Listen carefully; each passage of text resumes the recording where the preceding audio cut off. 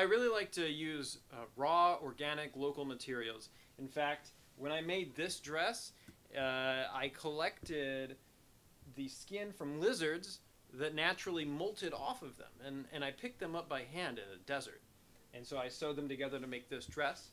And this one was made from hemp that was grown by Buddhist monks in Thailand. And I imported it and paid them a fair wage. And actually, I made a, a raw buffalo hide female loincloth for Michelle. Michelle who? Michelle Obama. But I mean, I don't want you to think that I'm a liberal or nothing like that. I mean, I'm I'm an American.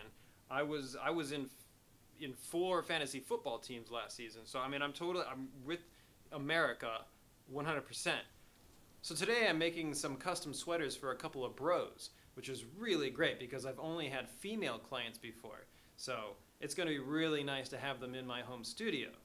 And I really respect them for trying to get some good old fashioned lady points by having cage free organic sweaters made for them. Hi, I'm Oscar. I'm Tyler. Hey guys, welcome.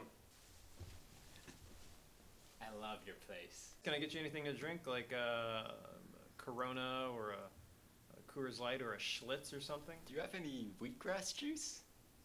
No, sorry, I don't have any wheatgrass. Nothing for me then. So, uh, tell me about yourselves. Who, who's on your fantasy team? Uh, George, Leo, Ryan, duh. I don't know those guys. Are they free agents? They can be on my starting lineup. Right on, man. All right, anyway, so let's get down to business. You guys want to get some local, organic, high end sweaters for your ladies, huh? No, for each other. It's our anniversary.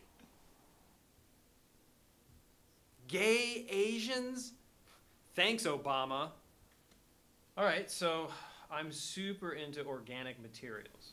That's the main reason we're here. I'm gonna go with an oldie but a goodie on this one a cage free organic dog. You're making our sweaters out of a dog? Yeah. She'll make a fine sweater. See these color tones? You're not gonna be disappointed with what I make for you.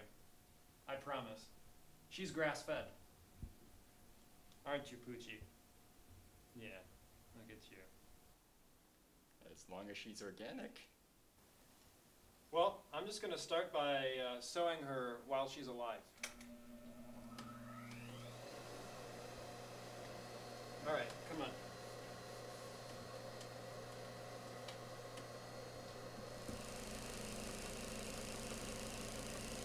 We couldn't be happier with these organic dog sweaters. I bet no one else is gonna have this.